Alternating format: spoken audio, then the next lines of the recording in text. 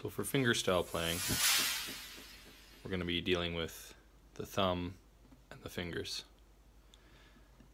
So the thumb will get used for the big strings, call these the bass strings. The general rule in classical is that the thumb, in classical fingerstyle, the thumb will pick down to the floor. So on top of the string and then brushing the side, even with just the skin of the side for a softer classical bass tone. So that's with the sixth string, fifth string, or fourth string. Now you notice there's different ways you can pick. You can do, you can pick a free stroke where your finger doesn't touch the string below it. It picks the string and goes at an angle away from the string below it. The opposite is a rest stroke. And you'll see my thumb going through the string, pushing more downward, resting on the string below it. That'll create a louder, a louder tone, a fuller tone. So thumb on the sixth string, you can do thumb on the fifth string, thumb on the fourth string. Okay.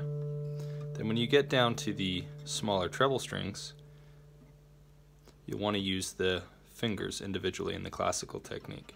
So the index finger will, you want to have your hand sort of like this. So your thumb will brush on the side away from the fingers and not run into them. Alright?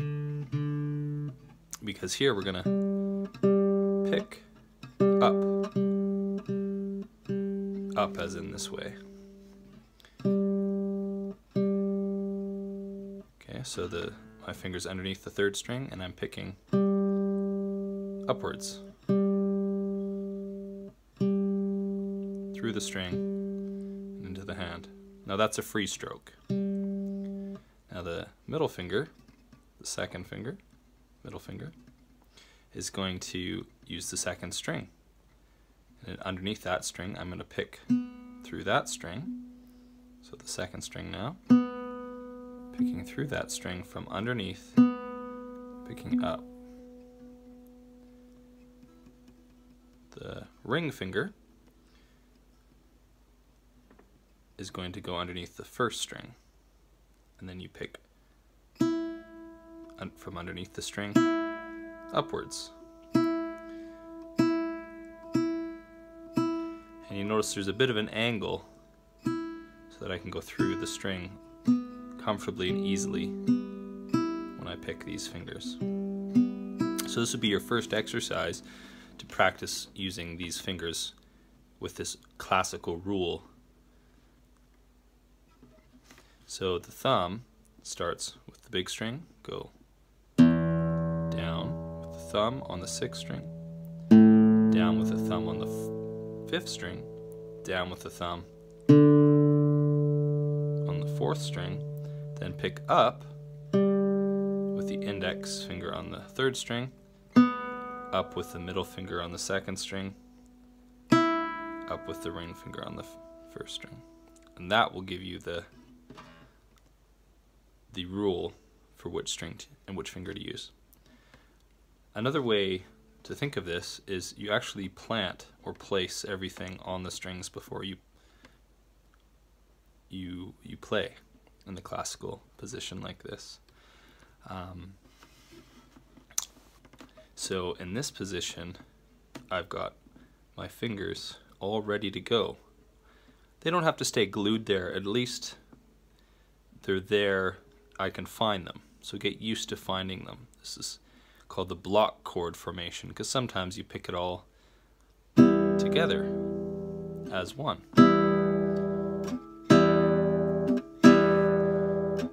That would be the block chord, but it's a good place to start when you're doing these arpeggios one string at a time.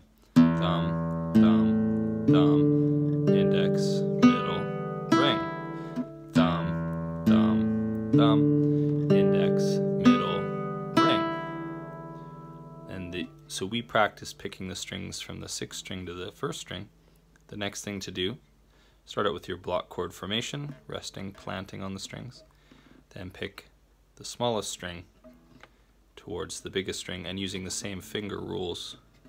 So first string with the ring, middle finger, second string, third third string with the index, then the thumb on the fourth, down, thumb on the fifth, down, thumb on six, down. So like this. Ring, middle, index, thumb, thumb, thumb. So now we pick the strings from the small string to the large string. And with that combination and that finger rule, you should be able to do the majority of classical arpeggios and um, finger picking techniques are based on that initial starting technique.